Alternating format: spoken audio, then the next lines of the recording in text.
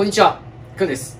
ということで、今日はですね、ケインくんがいないんで、あの、代理で別のカメラマンに撮ってもらってます。今回はね、チャーハン作ります。チャーハンで、ちょっと内容がですね、ちょっとキャベツとか入れた若干ホイコーローっぽい感じのチャーハンを作ります。よし、作っていくか今回はね、見てください。もうクソデカ中華鍋。ちゃんとね、洗う用の竹も買いました。これ竹で洗うんですよ、これ。説明書を見ながらなんですけど、見てこれ。竹で洗うんだよね。ちゃんと、事前に、いろいろしました。あの、いろいろして準備してできるようにしておきました。ちょっと中華頑張りたいなと思って。で、結構ね、今回難しいんだよな、調理。結構なんかちゃんとチャーハン作ろうかなと思って、頑張ります、今日は。ちょっと待って、これ、持たない、これで持たないとちょ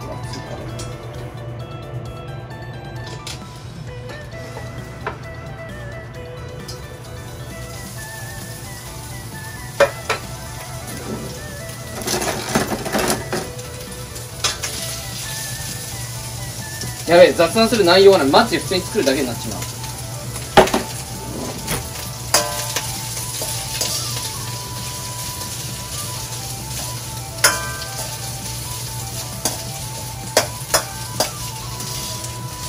最近料理動画、評判なかなかいいから、続けたいんだよ。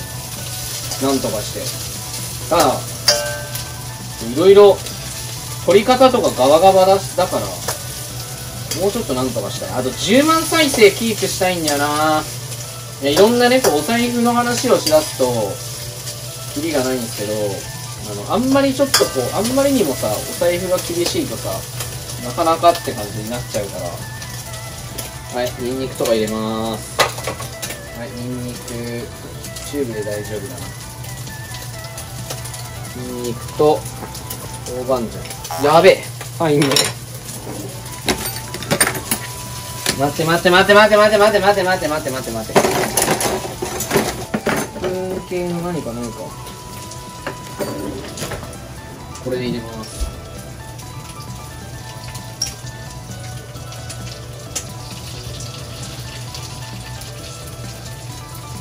とワンちゃんとあとねこれ謎の調味料なんだけどさこれこれ入れます。なんかよくわかんないんだよね、これ。な、なんなのかよくわかんないんだよ、これ。よくわかんないけど、美味しい何か。なんか中華っぽくなってきたな、なんか。と、あとラー油だな。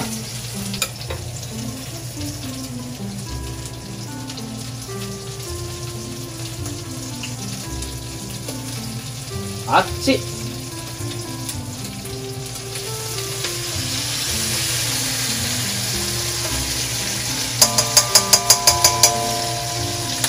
オッケーやば中華っぽい。匂いがすっげえ。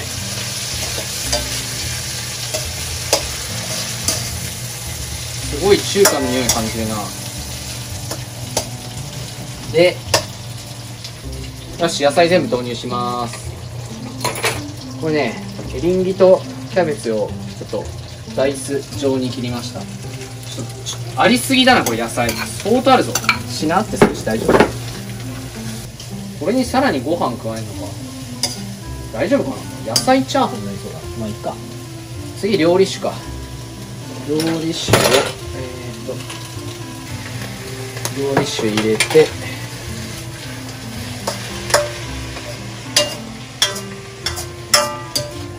やばい色うまそうじゃね？これ。やばい。くそうまそう。やばいな。これに醤油だね。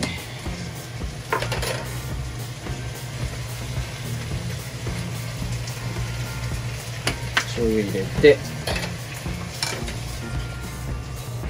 うんうまそう。やべえ。ガチやべえ。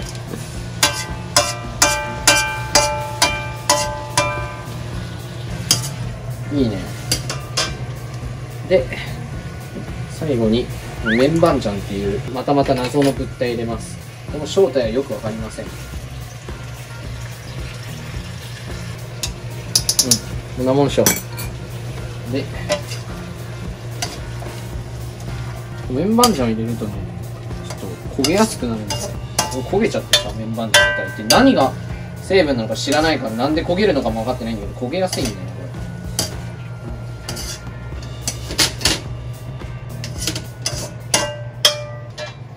と味見してみるか。そ ここ映す必要ないだろなんでそっち映すんだよ。映す必要ないですよ。さえください。うまうん。辛くてうめえな。中華料理って感じになってきた。よし白米いくか。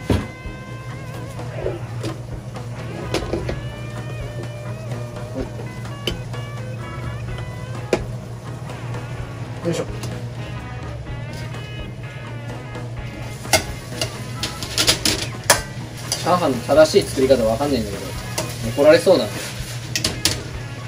あそうだ。キャベツとパプリカとなんだっけ？が入ってるよ。ちなみに。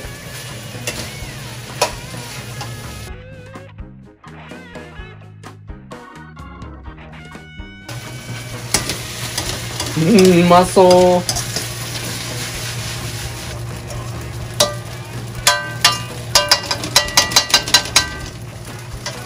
でネギか。はいネギ入れます。ネギとちょっとだけ。はい。こいつをちょっと入れます。味の素です。で。やばこれうまいんじゃねえかこれ結構。いい感じじゃね重たマジでこれ。片手。よしこんなもんだろ。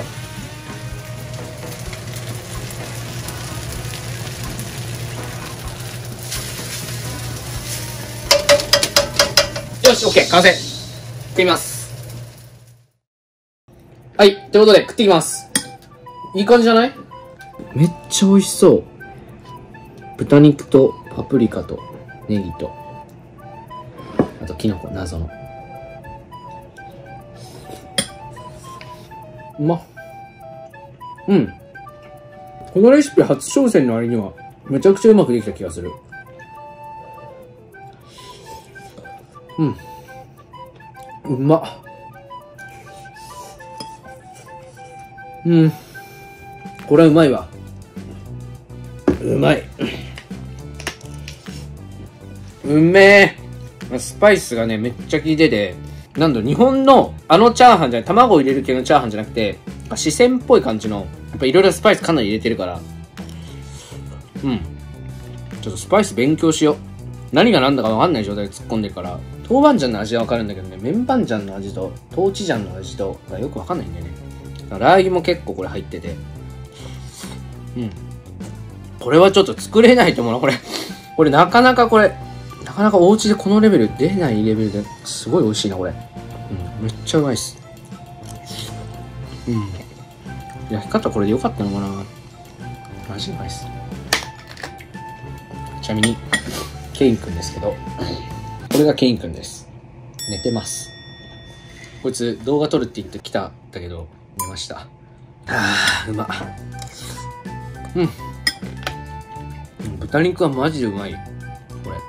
ちょっとホイコーローチックな感じ。うん。と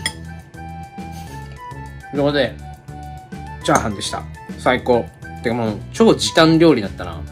スピーディーさは求められたから、めちゃくちゃスピーディーに作ったけど。お前も食うか。